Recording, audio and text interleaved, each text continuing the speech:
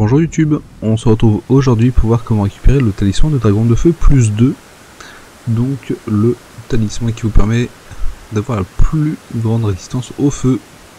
Alors nous sommes actuellement en fait sur le site de grâce de la tour de laine, donc en Kaelid, plus précisément au nord-est de la Kaelid.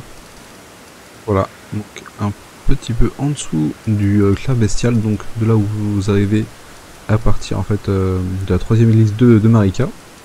Si on, si prend le chemin classique, donc en partant des portes, on va remonter toute la Kaelid. Et sur le plus simple, ça va être en fait de passer ici, voilà. Et de remonter jusqu'à ce point. Sinon, bah, vous descendez, vous faites attention au dragon, vous prenez le site de grâce de la tour, et ensuite on va se rendre ici. attention, hein. c'est bien une grotte, donc vous avez l'arbre qui est situé en fait sur la partie supérieure. Ce n'est pas ce qui va nous intéresser. Donc pas de grosses difficultés à part le double boss en fait qui va nous attendre au fond de cette grotte et évidemment donc ces fameuses euh, boules magiques qui vont apparaître de temps à autre. Donc il me semble qu'on en a deux ou trois tout au plus. Donc là on devrait en avoir une qui devrait apparaître ça sous peu. Voilà, là vous l'avez vu. Hop, faites attention. On utilise bien le double saut. Et non, à mon avis, on devrait en avoir terminé on voit l'ours. Donc cet ours qui marque en fait l'entrée de la grotte. Voilà. Je vais prendre ici.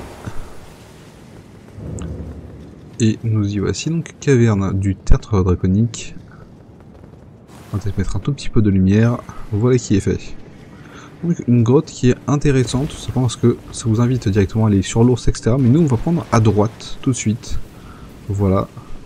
Par cette entrée en fait qui est cachée par les buissons en fait vous avez une autre partie qui s'ouvre, donc là on va se descendre. On va esquiver les loups, mais on va partir sur la gauche. Hop, euh, on va repartir un petit peu sur la droite.